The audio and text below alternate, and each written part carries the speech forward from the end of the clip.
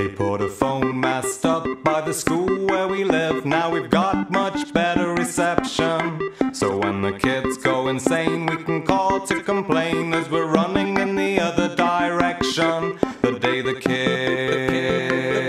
went radioactive.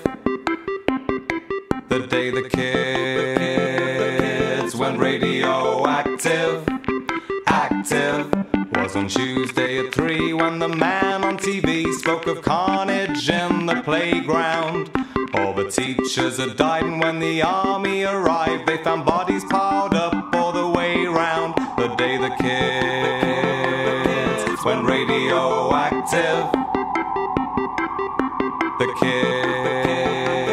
kids went radioactive. Active. This is the news. Children up and down the country are reported to have gone insane today and begun a mass killing spree.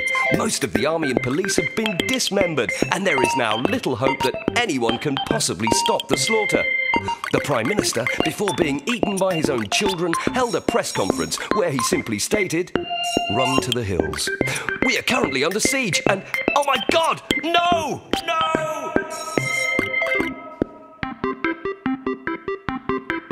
To avoid getting killed, well, we ran to the hills and we kept out the way of the children. And when we returned home, there was no one to phone, for the kids had gone and killed them. The day the kids went radioactive. The day the kids went radioactive. Yep. The day the kids radioactive. The day the